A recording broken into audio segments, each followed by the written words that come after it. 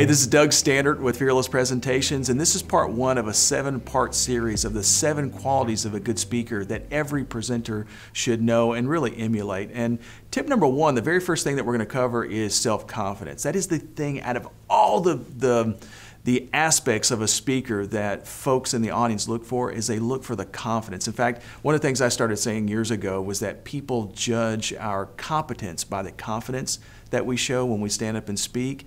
And, and this has actually been proved through science. Uh, specifically, a couple years ago, there was a, a, a survey that was or a research study that was done, where they identified the traits of a speaker, that the traits that people look for uh, when, when they're sitting in the audience. And one of the things that they kind of noticed was that the way that a person stands, the eye contact, the things that people do when they're up in front of a group are actually just as, if not more important than the things that we say. The reason why is because when we're, the way that we stand, the way that we present, the way that we communicate with the audience, there's a judgment that's being that's being um, that that's taking place in the minds of the folks that are in the audience. They're, they're, the thing that they're asking themselves is, do I believe what this person is saying? And if there's a consistency in the way that we present ourselves and the things that we're saying, then that's where that trust level is built with, with the audience. So.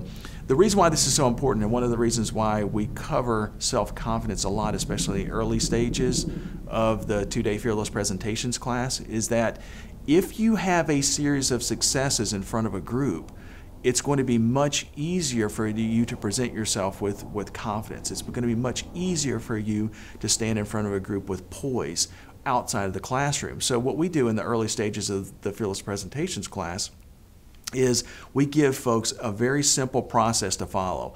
They, we give them step one and have them follow that process and have a success. Pretty easy. Then we add something a little bit more complicated to it and then we add something a little bit more complicated to it, and then we add something a little bit more complicated. And every step along the way, they're having a success after success after success after success.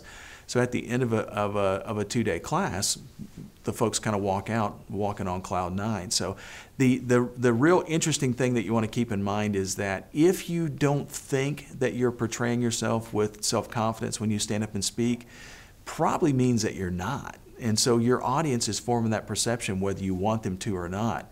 So if you get some help from an outside class like the Fearless Presentations class, it can really help. So if you're interested in improving your self-confidence and you want to really look and feel more comfortable when you stand up in front of a group, make sure and go to fearlesspresentations.com. Look for the seminar schedule and look for a class that's coming up in your area.